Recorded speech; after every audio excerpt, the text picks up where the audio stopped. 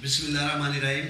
आज नौजवानों के आलमी दिन पर पाकिस्तान के नौजवानों के लिए मेरा ये खास पैगाम है। जैसे कि आप सब जानते हैं प्राइम मिनिस्टर इमरान खान ने हमेशा पाकिस्तान के नौजवानों को इस मुल्क का सबसे कीमती असासा कहा है।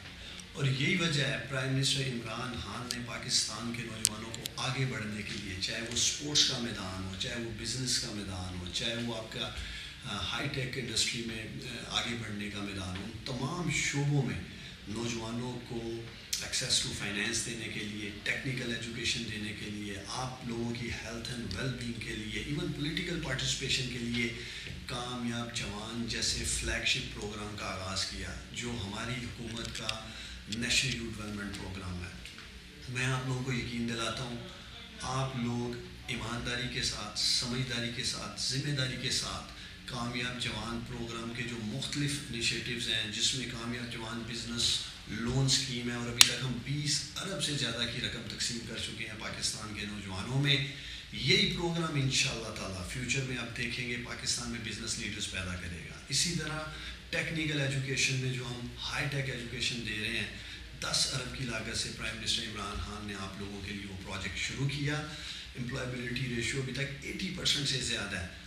और मैं उम्मीद कर रहा हूँ इसी प्रोजेक्ट से आप लोग देखेंगे कामयाब जवान, हुनरमंद पाकिस्तान से हाई टेक ट्रेनिंग्स लेकर आईटी कोर्सेज कर कर पाकिस्तान के फ्यूचर के आप लोग देखेंगे। मार्क्स जुकरबर्ग और स्टीव जॉब्स जैसे लोग पैदा होंगे जो आईटी इंडस्ट्री के लीडर्स होंगे।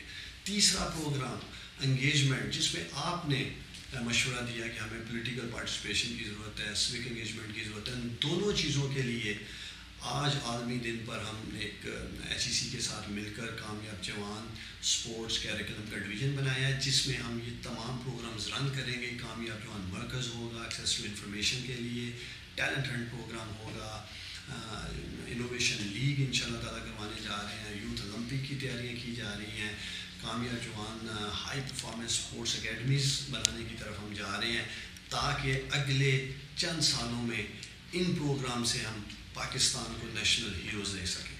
तो मैं ये उम्मीद करता हूँ आज नौजवानों के आलमी दिन पर कि आप लोग सब मिलकर कामयाब जवान प्रोग्राम का हिस्सा बनेंगे और पाकिस्तान की तमीर तरक्की में अपना करदार अदा करेंगे। कामयाब जवान, कामयाब पाकिस्तान पाकिस्तान जिंदाबाद।